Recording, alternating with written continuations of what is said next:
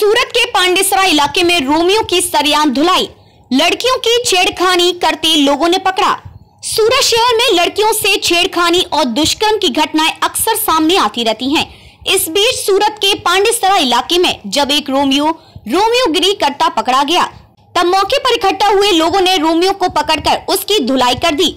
सूरत के पांडेसरा इलाके में आशापुरी खाड़ी के पास एक रोमियो रोमियो करता पाया गया। राह गुजर रही एक लड़की को देखकर उसके साथ छेड़खानी कर रहा था। जब वो ये हरकत करता पाया गया, तब मौके पर इकट्ठा हुए लोगों ने उसे वहीं पकड़ लिया और सरियाम उसकी धुलाई करना शुरू कर दी।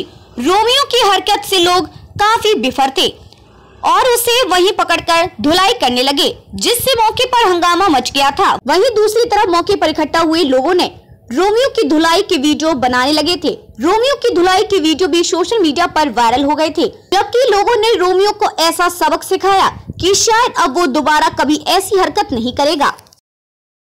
खबरों में अब तक के लिए बस इतना ही, मिलते हैं फिर ही बड़ी खबर के साथ। तब तक के लिए नमस्कार और देखते रहिए न्यूज़ जागरूक भारत।